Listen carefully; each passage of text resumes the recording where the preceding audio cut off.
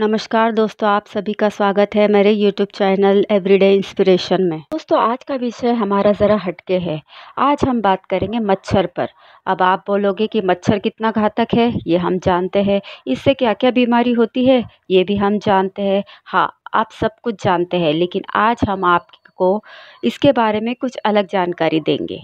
दोस्तों, किसी भी अन्य जीव जंतु के मुकाबले सबसे ज़्यादा मौतें इसी कीटक से होती है।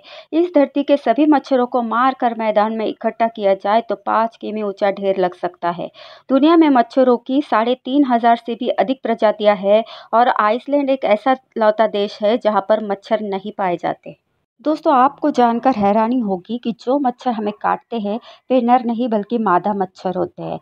नर और मादा मच्छर फल और पौधों का रस पीकर ही अपनी उपजीविका करते हैं। लेकिन मादा को, अंडों को विकसित करने के लिए रक्त में जो प्रोटीन होता है, उसकी ज़रूरत पड़ती है। रक्त से भर जाने के बाद, कुछ दिनों तक यह मादा आराम करती है। मादा मच्छर एक बार में 300 से अधिक अंडे दे सकती है। ये अंडे ऐसी जगह देती है जहाँ पर पानी जमा होता है। अपने पूरे जीवन काल में मादा मच्छर तीन बार अंडे दे सकती है। मच्छर के जीवन चक्र के चार चरण होते हैं, अंडे, लावा, प्यूपा और वयस्क मच्छर। मच्छरों का जीवन काल दो महीने से भी कम होता है। नर मच्छर का जीवन काल बीस दिन या उससे भी कम होता है। मच्छरों की नज़र कमज़ोर होती है, इसीलिए वह गहरे रंग वाले कपड़े पहने व्यक्ति को ही आसानी से देख पाते हैं। मच्छरों के दांत नहीं होते तो सूंड से वह रक्त शोषते हैं। दोस्तों, मच्छर अपने वज़न के तीन गुना रक्त पी सकता है। एक शोध के अनुसार बियर पीने वाले लोगों को अन्य लोगों के मुकाबले मच्छर ज़्यादा काटते हैं। इसके अलावा पसीने की गंध मच्छरों को आकर्षित करती है, इसीलिए जिस व्यक्ति को अधिक पसीना आता है, उसे भी मच्छर अधिक काटते हैं।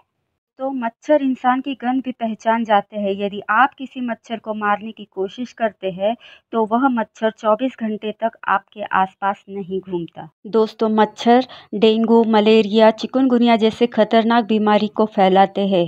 से बचने के लिए कीटकनाशक औषधि का इस्तेमाल करें और दूषित भोजन या पानी ना लें। थी ना ये मच्छरों के बारे में कुछ अलग जानकारी। तो आज के लिए बस इतना ही दोस्तों। अगर आपको मेरा वीडियो पसंद आया हो तो लाइक कीजिए, ज़्यादा से ज़्यादा शेयर कीजिए और मेरे चैनल को सब्सक्राइब कीजिए। तो मिलते हैं अगली वीडियो में किसी अच्छे से टॉपिक के साथ। तब तक के लिए दीजिए इजाज़त। धन्यवाद।